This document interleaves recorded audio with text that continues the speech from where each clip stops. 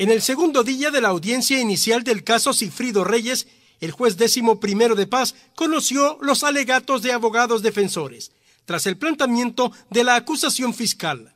Lavado de dinero, estafa agravada, peculado e incumplimiento de deberes son los presuntos delitos que enfrentan 14 imputados, 10 de ellos presentes.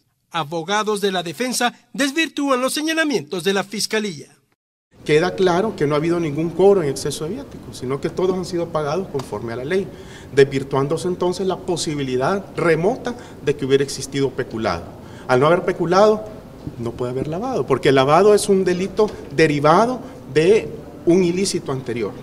Con relación a la estafa, la Fiscalía no mencionó una sola acción, ni una sola omisión que el señor Silfrido Reyes haya realizado con relación al IPSA. Con esos argumentos, nosotros creemos que hemos pegado un golpe mortal a la acusación de la Fiscalía. Y el caso va a pasar a instrucción únicamente porque se debe averiguar, pero la Fiscalía no tiene posibilidades de lograr una, condena. Que este caso futuro procesal en una eventual vista pública, esto no tiene nada así. Es decir, Fiscalía debería tener claro de que todo lo que ha venido a establecer a través de un requerimiento bastante voluminoso, todos esos elementos de prueba se le van cayendo. La Fiscalía confía en su investigación y en las pruebas iniciales que sustentan las acusaciones para fortalecer en la fase de instrucción. Nosotros siempre creemos que los, hay suficientes elementos para mantener la petición de la detención. Hay suficientes elementos. Fueron una cantidad de, elementos eh, que fueron recolectados en dos años. La defensa tiene que hacer su exposición y recordemos que esa es una apreciación de ellos, la distorsión, las citas parciales, son estrategias de defensa.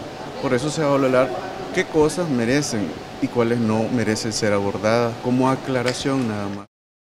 Continúan prófugos cuatro de los principales imputados, entre ellos el expresidente de la Asamblea Legislativa, Sigfrido Reyes, su hermano René Reyes y su socio Byron Larrazábal, y la asistente Carla Recinos.